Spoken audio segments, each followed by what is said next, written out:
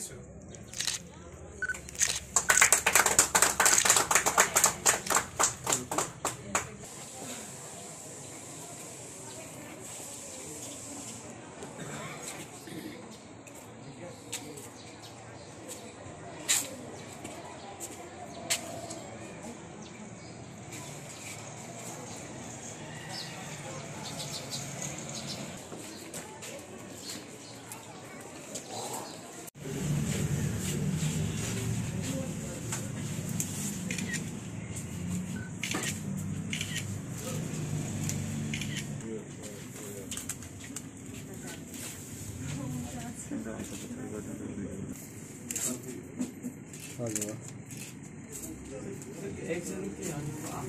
बजारभन्दा महँगो हुनु हुँदैन भन्ने नै कन्सेप्ट हो।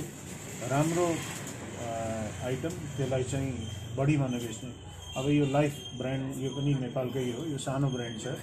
अहिले हामीले यसमा विभिन्न किसिमको सामानहरू यो दाल जलनहरू के के छ यो चुरा के के यो सबै उत्पादनहरू हामी अरू अहिले यो ब्रान्डहरूमा बेचिरहेको छौँ। यो यो चाहिँ माटो ब्रान्डको पानी यो चाहिँ स्प्रिङ वाटर हो।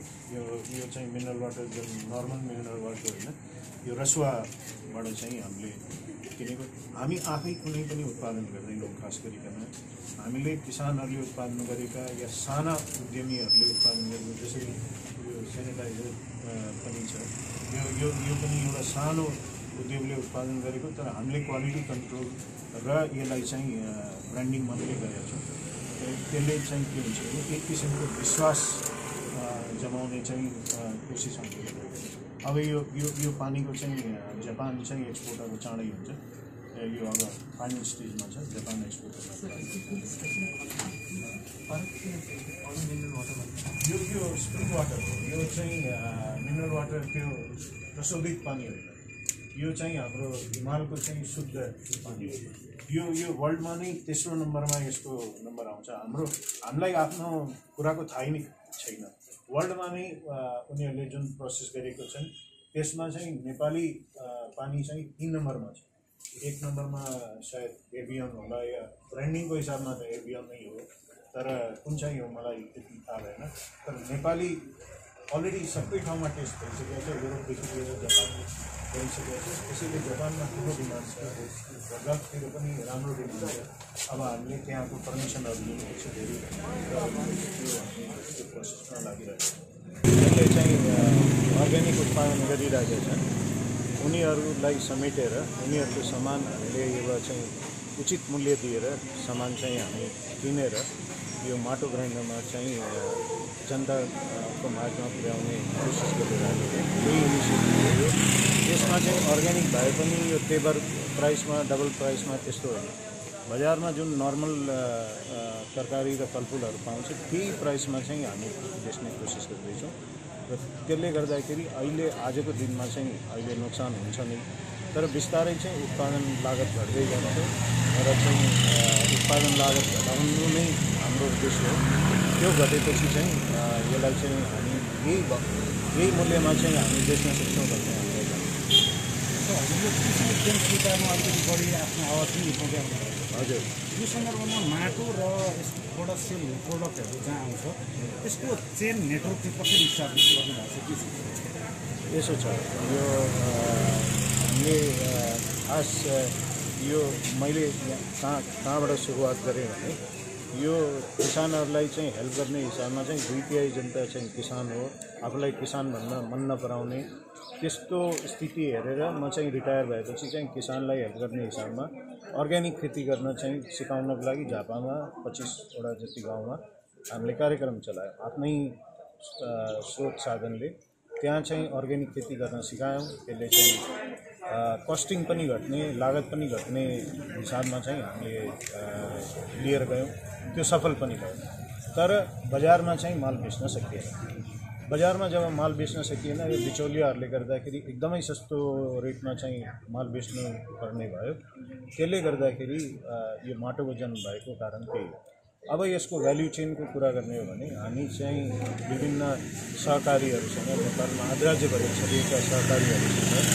र किसानहरूसँग जसले अर्ग्यानिक उत्पादन गरिरहेको छ उनीहरूबाट चाहिँ हामीले सङ्कलन गरेर अहिले चाहिँ काठमाडौँमा सातवटा स्टोर यो सिधा सातवटा स्टोर भयो त्यसबाट चाहिँ बेचिरहेको अहिले बेचबिखन भइरहेको छ र अब आउँदो दिनमा चाहिँ काठमाडौँमा यो एक वर्षभित्रमा सयवटा जति स्टोर सबै पुर्याउने चाहिँ। त्यो त्यतिवटा स्टोर भइसकेपछि अनि बल्ल अझ ठुलो चाहिँ किसानहरूलाई चाहिँ हामी किन्न सक्छौँ। अहिले चाहिँ हाम्रो क्यापेसिटी बिस्तारै बिल्ड हुँदैछ। यो के पहिला अन्डा कि पहिला कुखुरा भन्ने जस्तो कुरा भयो कि?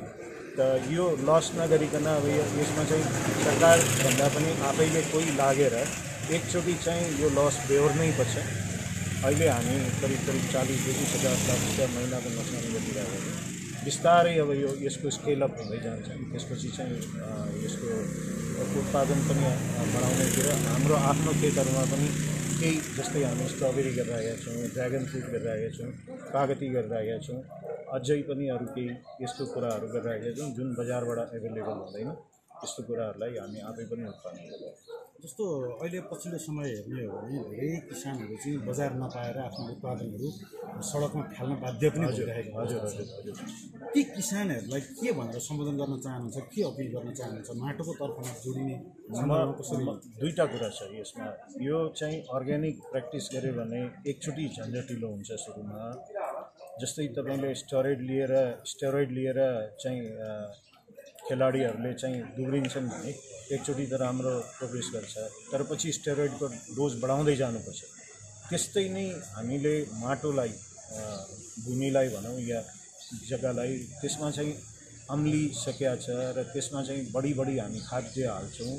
त्यसलाई चाहिँ अब एकचोटि रोकेर त्यसमा गोबर र चाहिँ यो जैविक मलहरू हालेर त्यसलाई चाहिँ हामीले रिजेनेरेट गर्नुपर्ने छ त्यो हुने बित्तिकै हाम्रो उत्पादन पनि बढ्छ र हाम्रो विष यो किराहरू पनि खासै लाग्दैन। अम्लिएकोबाट हट्ने बित्तिकै किरा लाग्दैन। त्यसैले किसानलाई मैले अपिल गर्नुपर्ने कुरा के छ भने हामी चाहिँ अर्ग्यानिक खेतीतिर जाउँ खास गरिकन साना किसानलाई? उहाँहरूले गर्न सक्नुहुन्छ यो ठुला किसानलाई गर्न गाह्रो हुन्छ मलहरू पाउन गाह्रो हुन्छ। तर साना किसानले गर्न सक्नुहुन्छ। उहाँहरूले गरेको खण्डमा बिस्तारै चाहिँ हामी चाहिँ उहाँहरूको सबै उत्पादन हामी किन्न सक्षम हुन्छौँ र एक लेभलमा गइसकेपछि सर्टिफाई सर्टिफिकेसन पनि गराउँछौँ। सर्टिफिकेसन भएपछि हामी यसलाई चाहिँ विदेशमा पनि एक्सपोर्ट गर्छौँ। यो चाहिँ यो यो एउटा यस्तो इनिसिएटिभ हो जसले चाहिँ नेपालको कृषिमा चाहिँ खड्को नै मार्ने हिसाबमा चाहिँ मैले यसलाई देखेको छु। त्यसैले म आफै यसमा लागेको छु। अरू काम मैले छोडिसकेँ सबै बिजनेस हेर्न छोडिसकेँ। तर यसमा चाहिँ मेरो अहिले यही सोचाइ छ कि यसलाई चाहिँ अगाडि बढाउनुपर्छ नेपालको किसानलाई दिगो बनाउनको लागि यसलाई चाहिँ अगाडि बढाउनुपर्छ यो प्राइमरी उत्पादन पनि अब चाहिँ हामीले एग्रो प्रोसेसिङ इन्डस्ट्रीहरू कृषि प्रशोधन उद्योगहरू चाहिँ लगाउनुपर्छ साना साना त्यो चाहिँ गाउँघरमा नै लगाउनुपर्छ जस्तै तपाईँले अघि भन्नुभयो किसानले चाहिँ सडकमा फाल्नुपर्ने स्थिति आयो गोलबेडा फालेको छ। त्यहाँ चाहिँ केचपको इन्डस्ट्री लगाउन सक्छ। त्यसलाई चाहिँ हाम्रो ब्रान्डसँग जोड्न सकिन्छ माटोसँग। त्यस्तै जहाँ आलु बढी हुन्छ त्यहाँ चाहिँ आलु चिप्सको बनाउन सकिन्छ। दुध बढी हुने ठाउँमा हामी चिज बटर आदि इत्यादि बनाउन सक्छौँ। त्यस्तै तपाईँको अरू जुन काउली र बन्दाहरू बढी भयो अरू तरकारीहरू बढी भयो भने त्यसलाई फ्रोजन गरेर त्यसलाई चाहिँ below ten fifteen degree below टेम्परेचरमा लगेर त्यसलाई चाहिँ हामीले फ्रोजन गरेर यो रेस्टुरेन्ट र होटलहरूमा सप्लाई गर्न सक्छौँ त्यो हामी ब्रान्डमा गर्छौँ त्यसको लागि हामी कोल्ड चेन होटलहरू डेभलप गरिसकेका छौँ त यसरी जोडेर लैजाँदाखेरि र जहाँ दालहरू बढी हुन्छ त्यहाँ भुजिया जन्ने वस्तुहरू त्यस्तै अरू धेरै छन् उद्योगहरू कृषिजन्य उद्योगहरू हामीले गर्नुपर्छ यसमा चाहिँ तिनै तहको गभर्मेन्टलाई पनि जोड्नुपर्छ। खास गरिकन स्थानीय तहको सरकारलाई चाहिँ बढी जोड्नुपर्ने आवश्यकता हुन्छ त्यो हामीले अब धेरै ठाउँमा म आफैले कुरा गरिरहेको छु स्थानीय तहमा। त्यहाँ जोडेर एउटा मोडल पहिला एक ठाउँमा बनाउने अनि त्यसपछि त्यसलाई चाहिँ अग्राजभरि चाहिँ अगाडि बढाउने। जस्तो ब्रान्डको कुरा जोडिँदै गर्दाखेरि लोकल लेभलमा जुन तपाईँहरूले किसानहरूसँगको प्रडक्टहरू लिन्छौँ भनेर भन्नुभएको छ भोलिको दिनमा उनीहरूलाई अझै प्रोत्साहित गर्नको लागि उनीहरूकै नामबाट अथवा उनीहरूको स्थानीय आफ्नो ब्रान्ड बनाइदिएर त्यसमा टाइप गर्ने सम्भावना कति गएर त्यो पनि रहन्छ। हामी को ब्रान्डिङ गर्न सक्छौँ। त्यो जस्तै लोकल ब्रान्ड र हाम्रो माटो ब्रान्डलाई को ब्रान्डिङ गरेर हामी सक्छौँ।